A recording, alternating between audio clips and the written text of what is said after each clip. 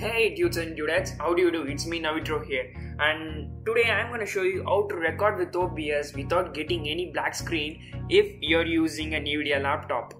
You may also try this at AMD but it is at your own risk because I do not know anything about AMD. No, if you're using Windows 10, go and download the latest version because most of you might be using classic version of the OBS which dropped in support long time ago last last August I think they dropped support for that and they made a new version. Download that new version if you're using Windows 10 and then now what you do is go to OBS studio icon right click on that and go to properties compatibility and make sure this runs in the compatibility mode for Windows 7 and check these three boxes if they aren't checked already and click OK. Now the next thing you do is go to uh, NVIDIA control panel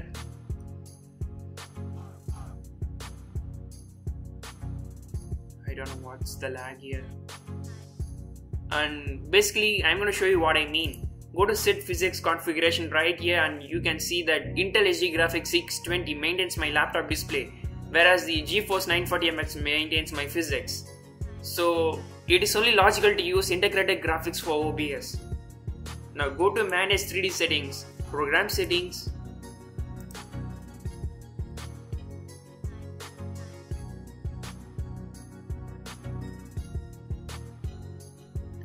and your uh, OBS pro OBS program should be right here in the drop down menu. Click on that OBS and select the preferred graphics processor for this program as integrated graphics not the NVIDIA processor. I, I because I mentioned why it, it is like that already. And click apply.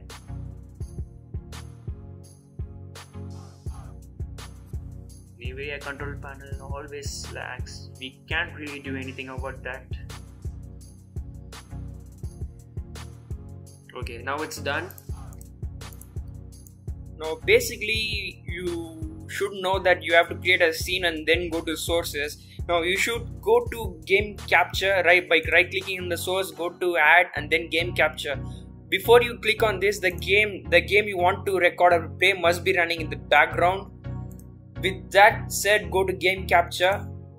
Rename the source with any name you want preferably the name of your game PS3 if I'm gonna play Dark Souls 3. Now click on this multi-adapter compatibility then go to mode uh, it is capture any full screen application now. You should drop down it and select capture specific window. Now there's a extra window option here. You should click that window option go to something.exe your name of the game must pop up right here if it is running in the background. Click on that. If you if it worked the preview of the game which is running in the background must pop up right here. If that pop-ups it means that it worked. So you can actually press ok now. Go to the game directly and start playing it. Your game will be recording at the background. That's it. That's all there is to uh, obs for now